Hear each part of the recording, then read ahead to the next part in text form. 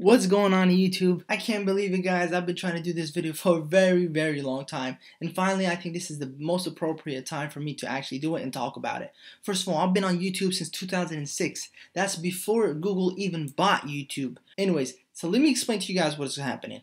This goes way back. This is going to be, by the way, if you haven't noticed, it's about the fake pranksters on YouTube. They're going viral. They're all over the place now. There's so many of them, and they're messing up YouTube for everybody. So let me just give you a quick history about it. First of all, it all started back when uh, Vitaly did that gold digger prank. A lot of people started saying, okay, it's fake, it's not. There was a whole uh, debate about it online if it was fake or not. Nobody had some proof if it was, if it wasn't, so they let it be. After that, one year later, 2014, Sam Pepper, he gets into a whole big problem. He opens a can of, of beans and he just messes up everything for himself and for other, for other people.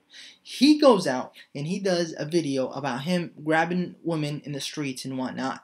And a lot of people did not like that at all. He goes on the news and some people even uh, file, uh, you know, uh, complaints for sexual harassment. YouTube suspends his account. His videos get taken down, whatnot. Basically, he gets in so much heat. He comes out. You see this lady right here? He shows a video, and uh, Philip DeFranco talked about this. Well, by the YouTube community. And then he posted what he called part three, the reveal, where he said this was not really a prank, but more a social experiment. In the video, he claims that everything was scripted, everyone was in on the joke, and it wasn't just random people. He points out that. You guys seen that? Those ladies that were there, he points out that they were in on it. They were actors. They knew what was happening. Guess what? That's all bullshit uh, if he didn't get any heat, he would have not told anybody that it was fake. And that makes sense, right? Any other YouTubers are not going to tell you that they're doing fake pranks. It just makes sense. Let's keep going. And then you guys will realize where I'm getting with this. So later on, in November uh, of uh, last month, Tech Insider comes out with an article about this guy making uh, YouTube and basically he's exposed on TV. He made himself blind, and I'll, I'll put the link uh, for the video. You can watch it in the description. But he gets ex exposed of renting actors to do his videos. Philip DeFranco comes out and states the obvious. Like, seriously? You guys should have already known this. Here, I'll let you guys hear it. Humble, even though they get millions of views, but oh my god, some of them are so fake. This includes people like Roman Atwood. Oh my god, an amazing guy. Fousey. Oh my god, an amazing guy. So the news here is not really news to most old school tubers that have been watching for a while. Many pranks on YouTube are fake. That said, most people won't give a shit. You get it?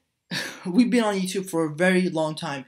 These guys, a lot of them have just started paying actors, okay, to get more views, and more views makes more money. It's so much money. It's crazy. So everything is cool. You know, he got a lot of heat for saying this and stating Fousey Tube's name and Roman Atwood's.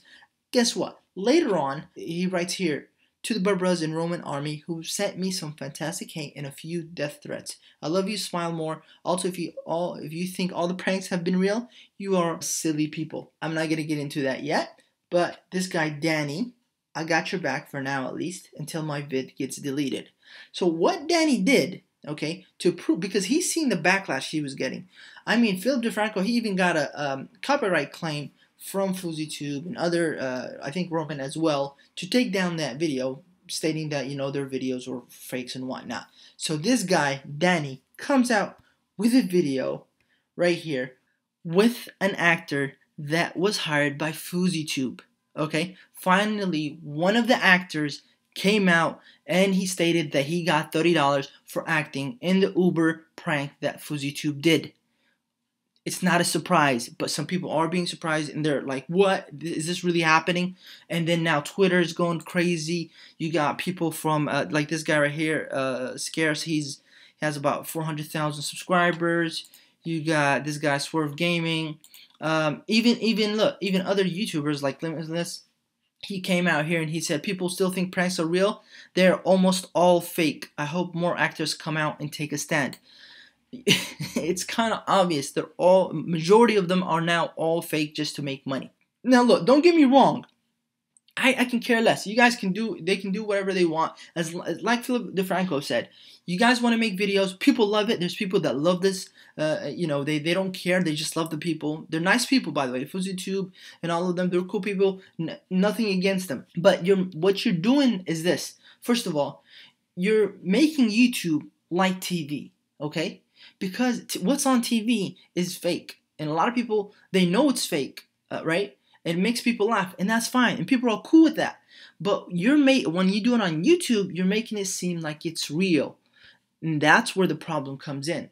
Okay, you're uh, you're making this, you're saying this is a real prank or whatnot, and it's not, and it's you're using actors. That's where the problem comes in. Uh, some might think it's real, and then uh, they might go out and try to do these pranks. And let's say if it was a dangerous prank, and a lot of people are doing dangerous pranks now, and they're paying actors to actually do them. And let's say somebody says, "Oh, okay, let me try this," and he goes out and do it, and he gets in big trouble. You just messed with somebody. I don't know if you guys remember this guy, uh, Josh. He made a video about giving a homeless man a hundred dollars.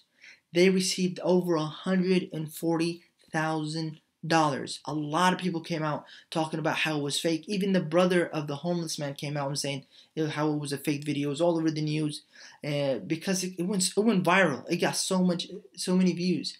Guess what? The guy has died.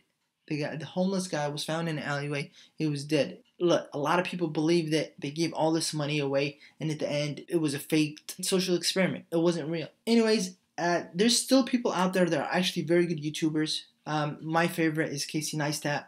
You guys should definitely go check him out. I think this is one of the most original and uh, motivational, and he motivates other YouTubers all over YouTube with his vlogs and his editing skills and, and everything. He's just very talented. Definitely check him out. Sam uh, Pepper, he, he's at it again. He There's another video about him killing his friend. It's a fake prank. Anonymous, they said something about them coming out trying to take him down or they're threatening him that whatever they're going to do with him. So if you guys want to watch that video, I'm going to link it in the description below.